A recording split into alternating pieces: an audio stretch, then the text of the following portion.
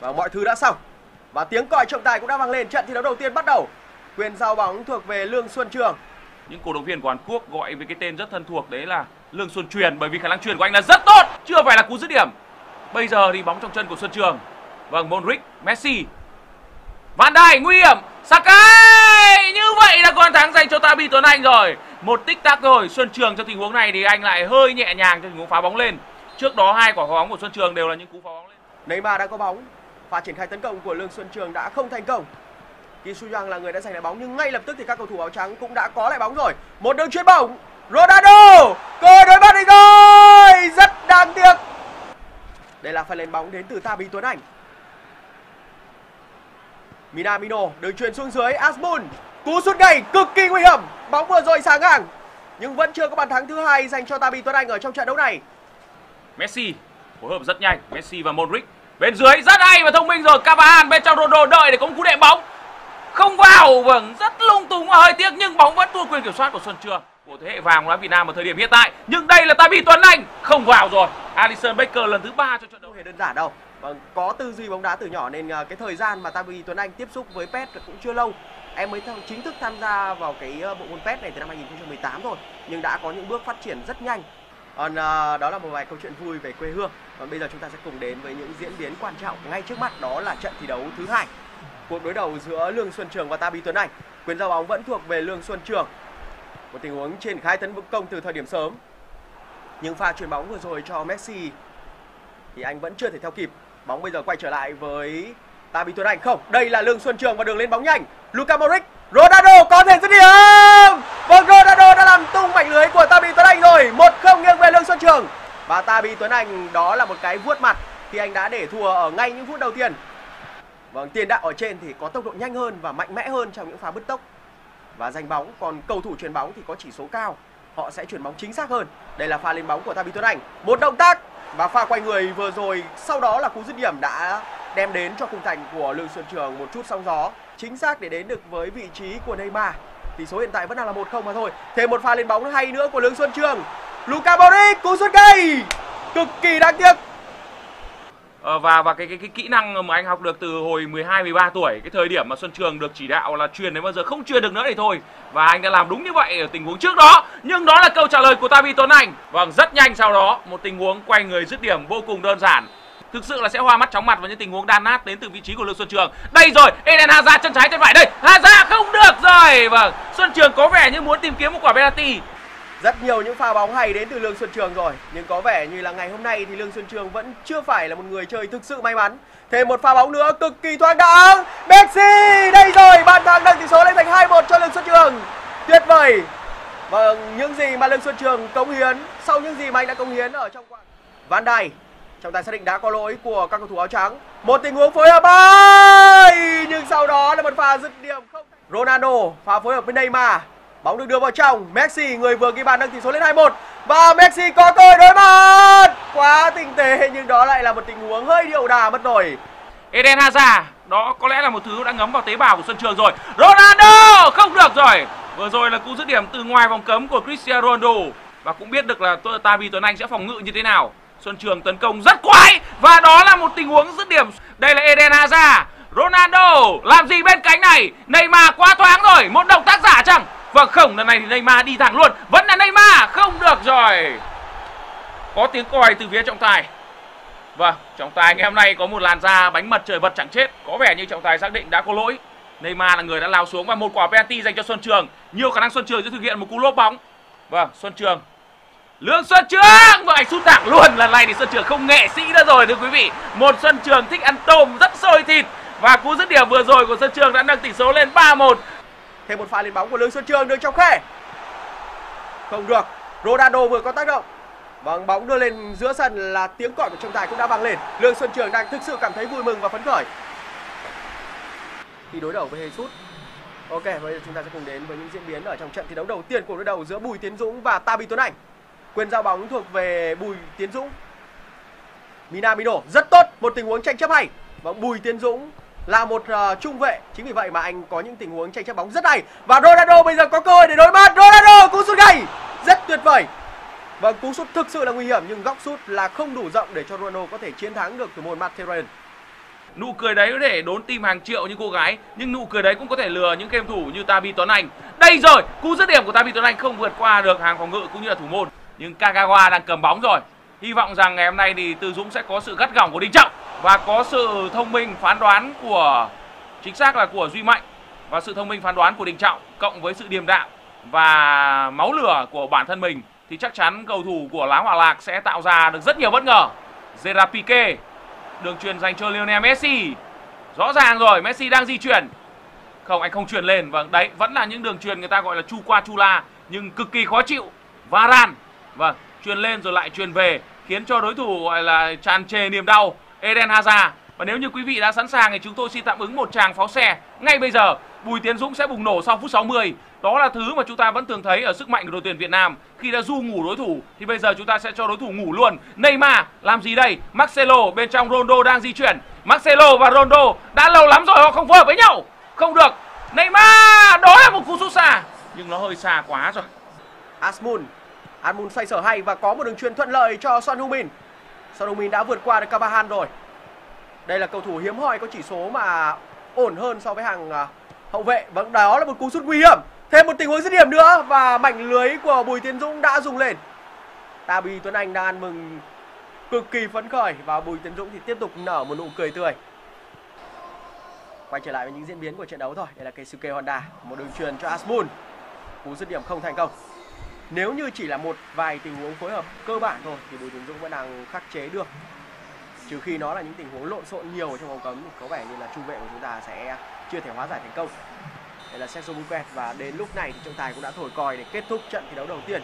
Cuộc đối đầu giữa Tabi Tuấn Anh. Đấy, và nếu như anh em chẳng may mà phải sang Lào công tác, sang Campuchia hoặc sang Myanmar thì vẫn xem được.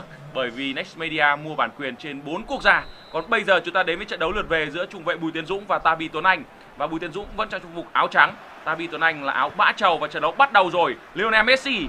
Và chúng tôi cũng chờ đợi một ngày nào đó thì Bùi Tiến Dũng sẽ à, cùng với các khán giả châu Phi có những cái trận đấu ờ, độ tài pet như thế này. Rất nguy hiểm. Đó là cú dứt điểm của Asmon thấy mặt rõ của thủ môn bên phía Tabi Tuấn Anh. Một pha phối hợp quá nhanh Minamino suýt chút nữa đã có bàn thắng cho Tabi Tuấn Anh. Van Dijk là người đã đưa bóng lên phía trên. Nhưng Minamino ngay lập tức giành lại bóng. Asmund Asmun xoay sở rất khéo và mạnh lưới của Bùi Tiến Dũng đã dùng lên. Rất đáng tiếc. Rất đáng tiếc. Vâng, một cái vườn người. Bóng vẫn đang trong tầm kiểm soát của Tabi Tuấn Anh. Minamino pha phối hợp với Okazaki. Rất nguy hiểm. Okazaki hợp lý rồi. Asmon làm gì? Vâng, đó là một đường truyền tinh tế cho Son Heung-min nhưng cú vẩy của Son Heung-min sau đó lại không thể chiến thắng được Ashley Barker. Căng thẳng luôn thưa quý vị và các bạn. Ronaldo hơi khó và kẹp thịt rồi nhưng Messi vẫn còn.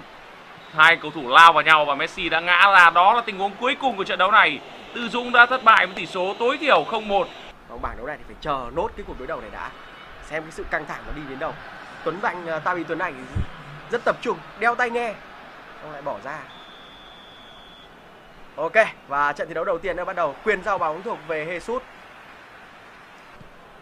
pha lên bóng dành cho Tabi Tuấn Anh đây là Son Heung-min đường truyền cho Minamino vẫn đang là pha phối hợp giữa Minamino. Đây là Asmun. Không được. Cú dứt điểm sau cùng của Tabi Tuấn Anh đã không thành công. Keisuke Honda di chuyển thông minh nhưng bên phía đội bạn đã bắt bài đường truyền rất hợp lý. Vẫn là cao thủ áo trắng. Đây rồi, Son Heung-min dứt điểm vẫn không thể vượt qua được bàn tay của chúa. Chưa có bàn thắng được ghi. Cầu thủ rất trẻ trung và phong độ đang rất cứng đấy là Son Heung-min. Nakajima. Minamino, Nakajima đây rồi, coi cây Square Honda vội quá không? Coi! Quá dễ dàng dành cho Tabi Tuấn Anh. Vâng, một tình huống mà cũng phải nói rằng hàng thủ của Jesus đã có sai lầm. Son Heung-min. Đây rồi, Asman. Tiếp tục ơi, dứt điểm. Đó là một cú lốp bóng vâng như tôi đã nói về sự tinh nghịch của Tuấn Anh dành cho hậu duệ của Dương Nam Hà Nam Định. Đây rồi, Nakajima. Keisuke Honda. Nhưng đây rồi, Son Heung-min. Cú dứt điểm đúng theo phong cách quất lâm rồi. Không thể nào sai lầm được tình huống này nữa. Một cú dứt điểm rất còng và đó là cú dứt điểm đẹp. Sau đó thì Tabi Tuấn Anh có vẻ như xem giờ. Anh đang hẹn giờ để cho con à, Còn à, có lẽ Jesus đang gặp phải bài thích thì đến rồi Cớ sao vẫn nhìn về bên này nhưng mà chưa sút được vào gôn. Không được. Bàn thắng vẫn chưa đến với cả Jesus. Một pha lên bóng nữa. Nakajima đường truyền vào trong. Asmon rất khỏe. Và bàn thắng thứ ba đã đến dành cho Tabi Tuấn Anh. Vâng với những chiến thắng đậm đà như thế này, thì game thủ ngoài giành được những điểm số, họ sẽ có được một hiệu số rất ấn tượng. Cự ly cú sút này rất xa so với khung thành và sẽ là những tình huống triển khai bóng tấn công. Đường chuyền hay, Honda! Góc sút quá hẹp.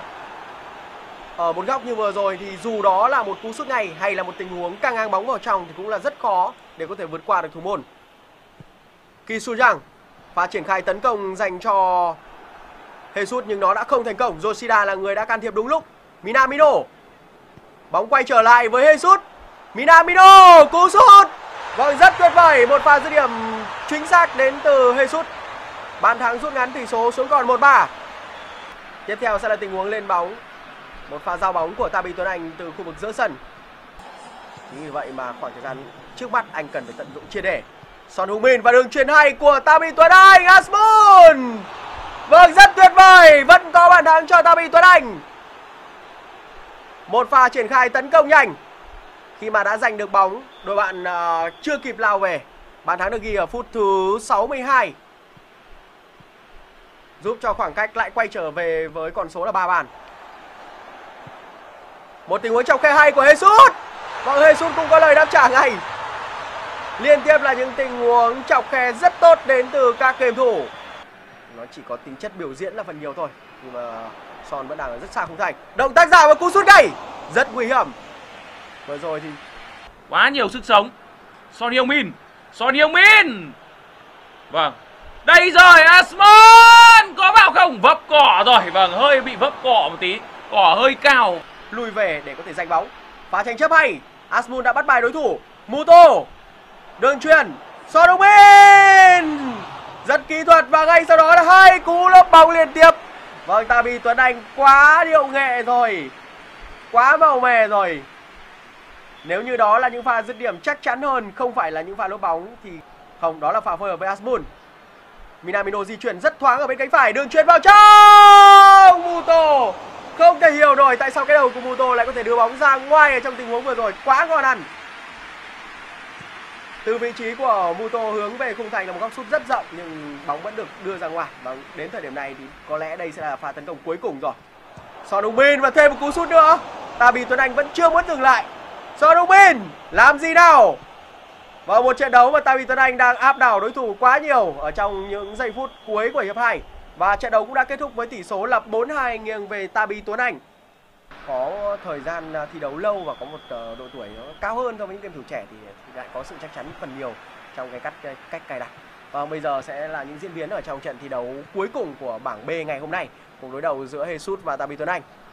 Bóng đang trong quyền kiểm soát của Jesus và đây là pha triển khai tấn công để áp vào khung thành.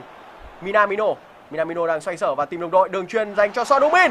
Có thể dứt điểm và tỷ số được mở từ rất sớm dành cho Jesus. 1-0 rất nhiều những đường chuyển ở tốc độ cao.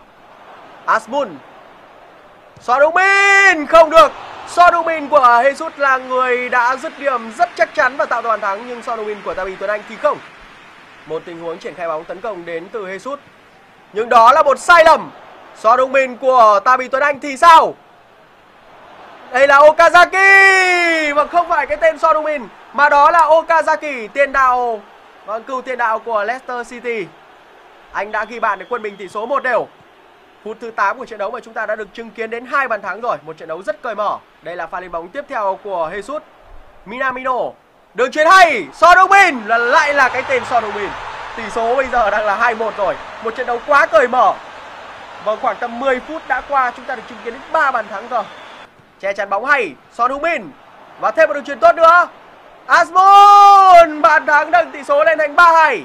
Tabi Tuấn Anh tự tin với sơ đồ chiến thuật của mình và trong lối chơi mặc dù đã bị trận đấu này thì Son Heung-min lùi về dưới để thi đấu ở vị trí hộ công thôi cho hai mũi công ở trên. Okazaki pha phối hợp cú sút rất căng, bóng dội sang ngang. Vẫn là cao thủ áo trắng.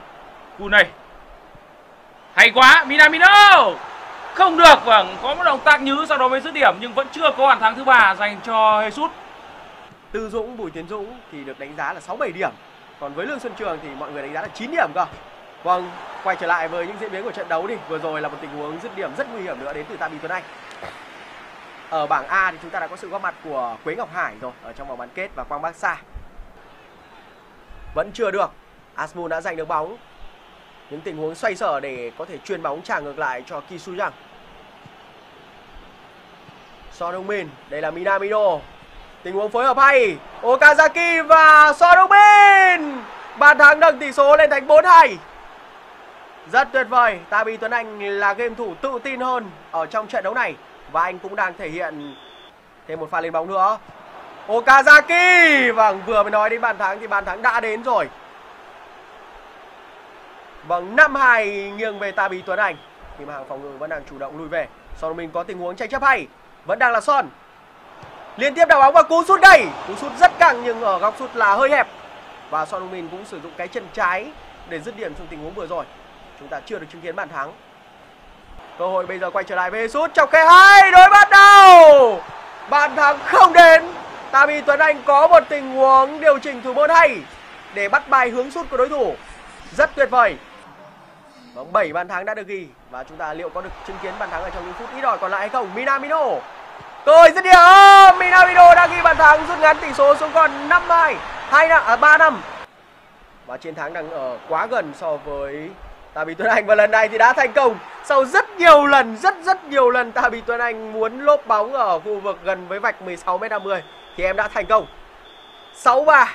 Và đây cũng là chiến thắng với tỷ số của Manchester United. Vâng, xin được chúc mừng Tabi Tuấn Anh. Ngay sau đây thì chúng ta sẽ cùng theo dõi lại highlight của trận đấu này.